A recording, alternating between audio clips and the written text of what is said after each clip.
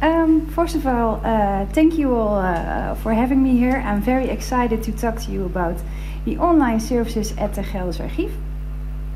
Um, as Thomas was saying, I'm uh, Ilse. Um, I'm manager uh, of the Department of uh, Public Affairs of Public. I don't know how to translate it uh, good in English. Um, but my department um, is all about the reading room, our website, digitization, web care, uh, scanning on demand, uh, but also about uh, our repository management and preservation and conservation.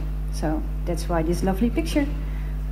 Um, the Gelders Archief, this is it.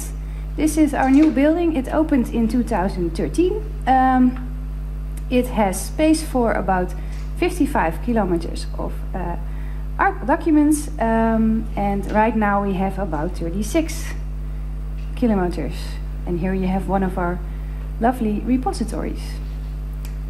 Um, the Gelders Archief, the Gelderland Archives. Um, this is the province of Gelderland. We uh, manage the archives and collections uh, of the province, but also of the government institutions uh, uh in Gelderland, and also the uh, uh, archives of municipalities, one of which is Arnhem. Um, but also we have um, have many famous archives of companies, uh, private individuals, etc. Um, we are, uh, as Gelders Archief, we are mostly focused on a digital future. Um, we uh, work together with the National Archives and other uh, archives in the Netherlands for our uh, eDepot.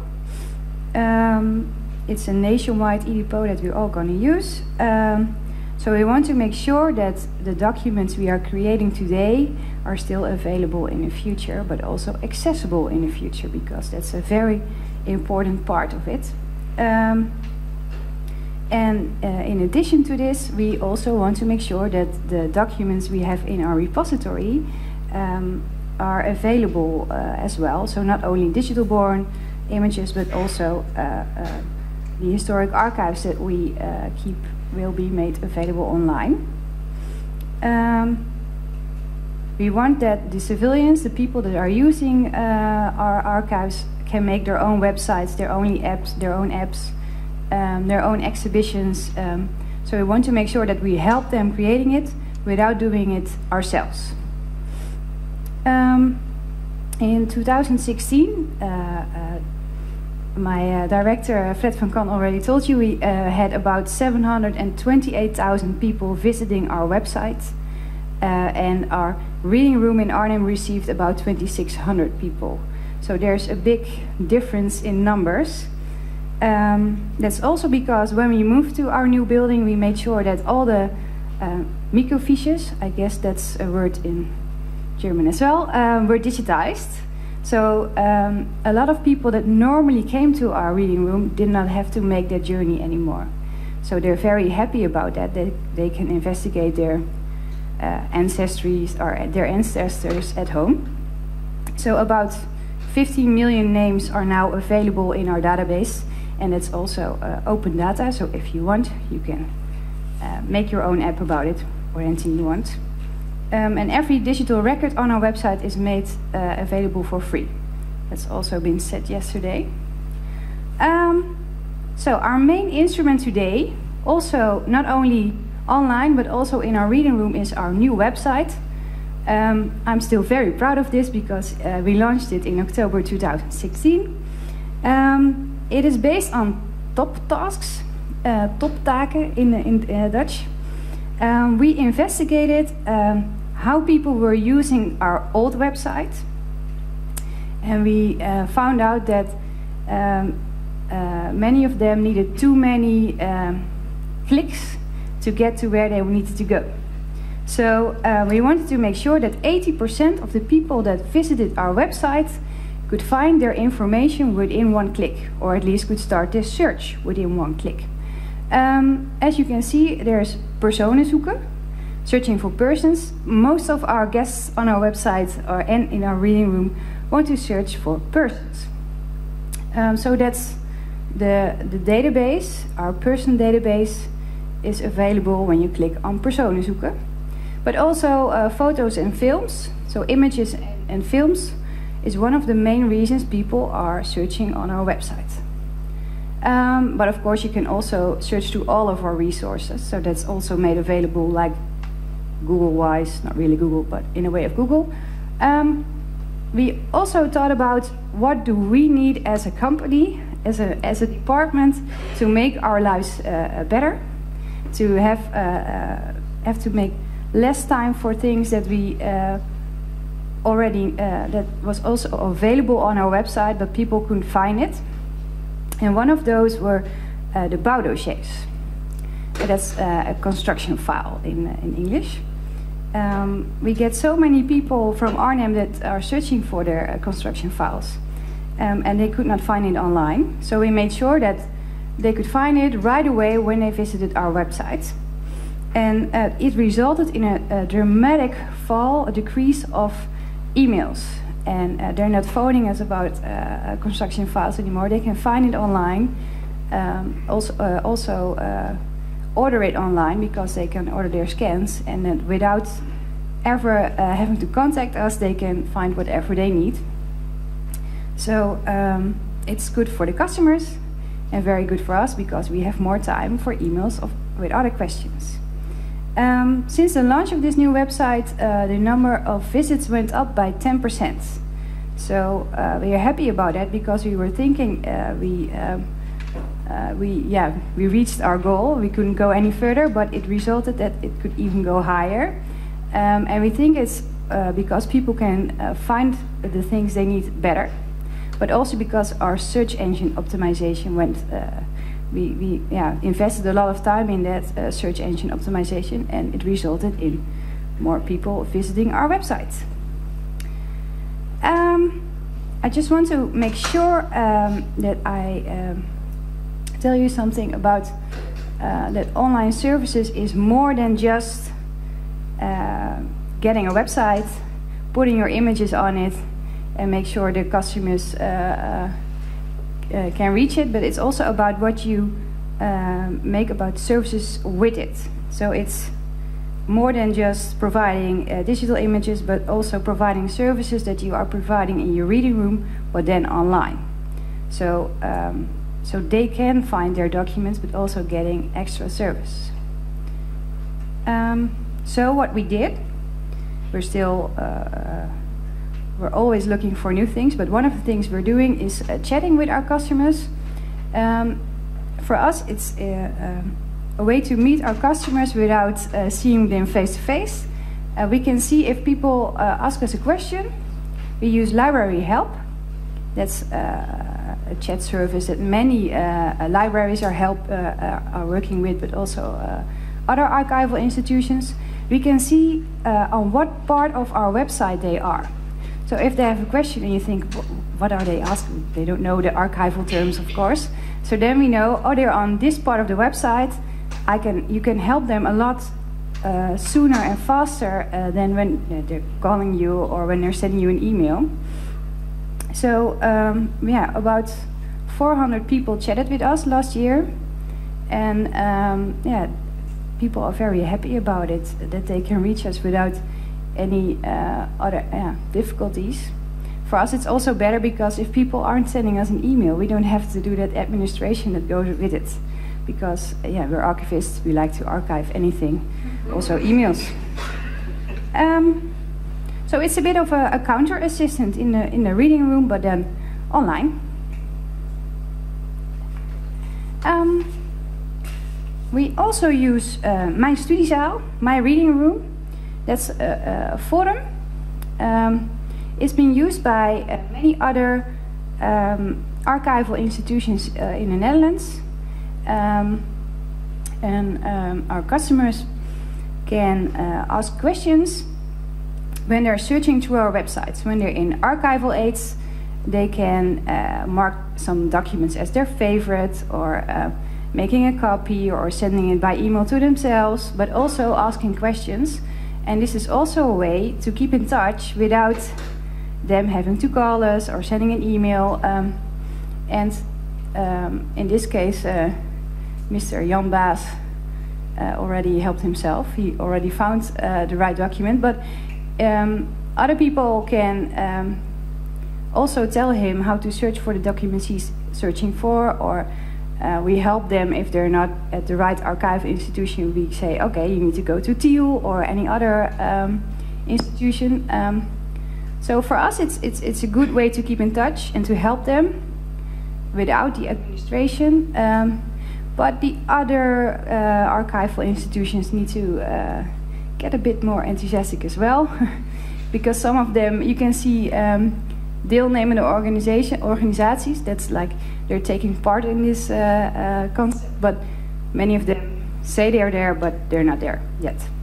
So we're making them uh, uh, we're trying to make them more enthusiastic about it.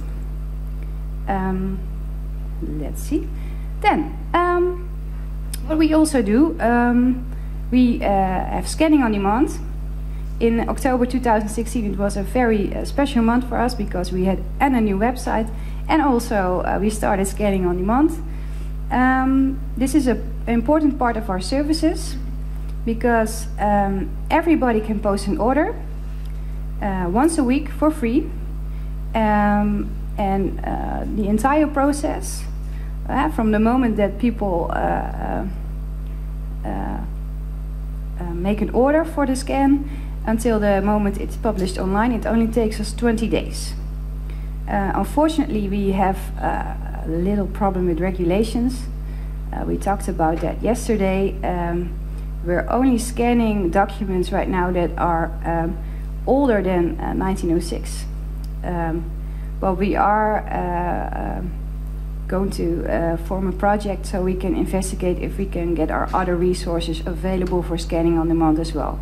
But you just need to make sure, uh, yeah, that no, yeah, you don't scan anything that doesn't uh, gets to be scanned. Um, let's see. It's very easy to uh, order a scan on our website. You have our archival aids every um, archive that is accessible and collection that is accessible has its archival aid on our website. Um, you can just press a button, leave your email address, and within 20 days you get an email that the document is published online. So we're not sending them the document. They can find it again in the archival aid, so anybody else can uh, use it as well. Um, and um, I think the colleagues that were just just talked about it. Uh, they they said that they were scanning the entire document. We're scanning the entire document as well because it would be very yeah a waste of time to get the document out of your, your repository and not scan it uh, entirely. Um, so uh, anybody uh, can post uh, an order. So if you want, you can all do it as well. Um, then our uh, our web care. Um, our online services also depend, depends a lot on our uh, communication. Um, so our online services contains more than just a website. Um, almost five years ago, we formed a webcare team, and that webcare team, uh, yeah, they're they're uh, making sure that we are online. Um, they post uh, for us as you can see, uh, Facebook, we had uh, a very good year last year. In 2016, we had about um, yeah, 1.1 million people viewing our posts. Um, we're on Twitter, we're on Instagram, LinkedIn, YouTube, and we have a newsletter. Um, but the newsletter, uh, yeah, well, we had yeah less views there, so you can see why we're in, uh, investing time and effort in our social media. Um, yeah, the, the number of people we are reaching is enormous and it's growing every week. Um, it's a way for us to make sure that people who would have, who have never heard about the Gelders Archief hears about us. Um, and I'm sure that not every one of them is going to visit the website of the Gelders Archief or the reading room of the Gelders Archief, but they know we are there. And maybe one day when they see us again, they think, oh, that's the archival institution that I saw online. Maybe uh, I can ask my question there. Um, so it's a way to keep in touch, it's a way to uh, make them see us, and it's also sometimes a way of uh, answering questions because some people, if you post on Facebook, they'll uh, react and ask a question, so we're there as well to make sure that um, we monitor what people are saying because sometimes that's quite important. People can say anything these days. Um, oh yeah, so I'm very proud of this. This is a, a Facebook post from last week. Um, it reached more than 100,000 people, so I'm very, uh, we're very happy about that. So we, um, what we do, we our webcare team, we uh, have meetings every two weeks. In, uh, in that meeting, we are making uh, a schedule. Who wants to go when uh, on Facebook and Instagram? Um, and we're also talking about the subjects we're going to talk about. So that's very important. That that uh, that meeting is is uh, uh, very important to make sure that everybody has the same ideas, everybody knows what's coming. It's also our communication advisor attends as well. So if he knows if there's any corporate uh, news we have to publish, uh, we do that as well. So our webcare team is more like a communication team these days. It all, um, yeah, gets together. Um, if there's a press release, it's not only a press release to the media, but also a press release on our website or on Twitter. But it does depend on uh, the information you're trying to send out, what, which kind of media you're using. So we're very, um, we're always thinking about which kind of news or information needs to go out by which media. Um, Instagram. I hear there are some people very excited about Instagram. We have Instagram. Um, we started, I think, last year. We first we had nine followers. Now we're almost around 400 followers. It's not getting very fast, but it's we kind of like it um, because it's a way to um, yeah let our uh, let other people see our collection. But we're still trying to um, find out which kind of uh, tags are best used and stuff like that. And now we're using English um, as a language. We're not sure if that's working but hey we're trying. So um, yeah we, we yeah I, I, like it. Um, something else our recent project in our webcare team is video uh, blogging. We started a pilot to see if uh, vlogging is something we were going to uh, use in the future. Um, I'm, I'm, not gonna uh, present it here. This is the start of it. Um, we made sure we have an intro and an outro that's always the same, so people will say, "Hey, that's the Geldergie vlog." We hope. Um, and in this vlog, um, Fred van Kan is featured to talk about uh, digital uh, services, digital online services. Um, but next week we will uh, have a vlog about scanning on demand, or um, uh, we're gonna have uh, a Vele Handen project. project. Uh, so you're gonna hear about that later. Um, about um, yeah, we're going to fill in um, documents. Of people who are deceased, overlijdensakten. I don't really know the death records, yes. Um, so we're going to make a vlog about it as well because we're going to visit, uh, uh, yeah, some interesting places surrounding that team.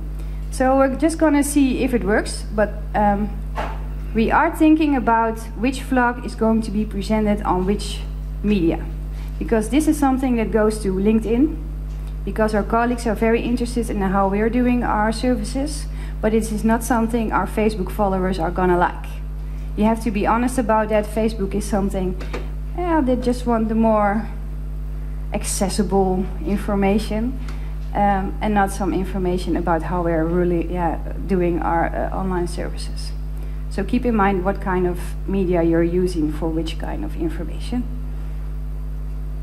Um, well, um, everything goes back, I guess. That's what I wanted to say. That um, we want to make sure that the service we're providing in the reading room, we are also provi providing on our website, because more people, more and more people are visiting our websites.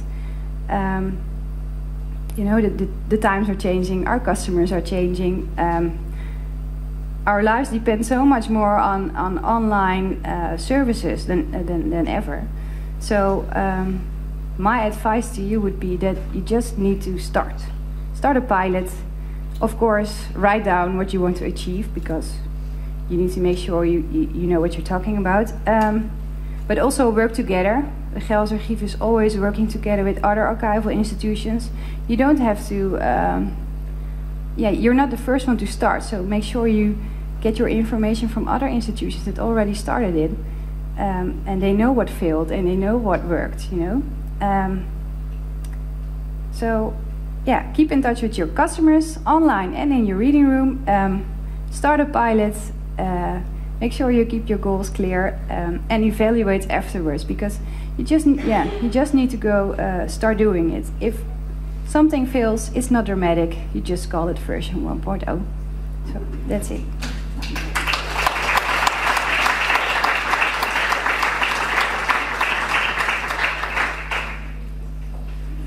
I would like to thank you for your presentation, and I think there are some questions to Ilse.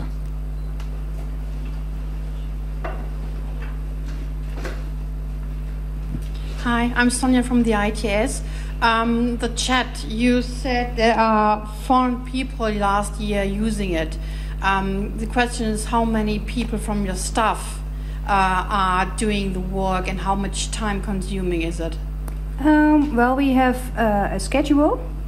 The people who are working in the reading room are also the ones that are working behind the chat, and that are uh, most of them are also part of the webcare team. So we have a schedule, um, but we do it four afternoons in a week. So it takes us like four hours a day, maybe. But during, if there's no chat, you can do your normal work. You know, you, you just answering emails, answering the telephone, or uh, making sure the website uh, uh, is updated. So um, you could do your yeah other jobs surrounding the chat. Just make sure you're there, and then everything will be fine.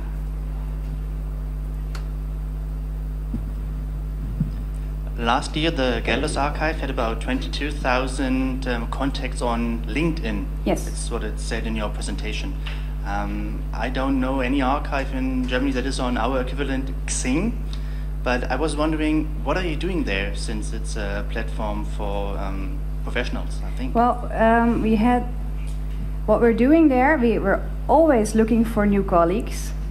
Uh, we want to make sure that it's a place where in, in, in the Netherlands it's used also for um, gathering your information um, to maintain your level of um, uh, how do you call it? it? to make sure that you're you know what's new, you know what's happening. So that's where we want to be as well. Um, that's why we are using it to post our vlogs or if there are any articles uh, that we want to other people to know about.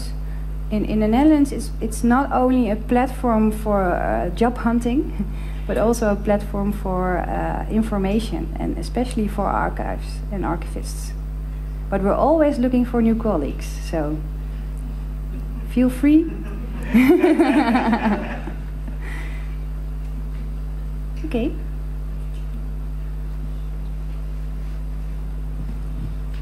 Um, Monika Mahner from the LVR Archivberatungs- und Fortbildungszentrum. Um, in the Netherlands, you are um, quite open with your sources. Do you have um, uh, com uh, combining to uh, Wikimedia or Wikipedia uh, organizations? Um, I know of. Uh, I know that. Uh, I thought that the National Archives had had some connections with it, but um, what we're trying to do right now is to make sure that all the images we have, we know what kind of a license we need to put on it, and then we can start working together. Because that's the first thing you need to know. You need to know if you if people can use the images, uh, and in which way they can use the images. So uh, for our um, uh, genea genealogical database, we know we know that's a CC uh, zero license, so that's why it's open data and everybody can use it. But I guess Wikimedia isn't that interested in that database. Um, but maybe, uh, yeah, we hope to um, uh, make sure that this year we all of our images uh, um, are investigated and we know which how to use it, and then we uh, can start a project. I guess. Yeah.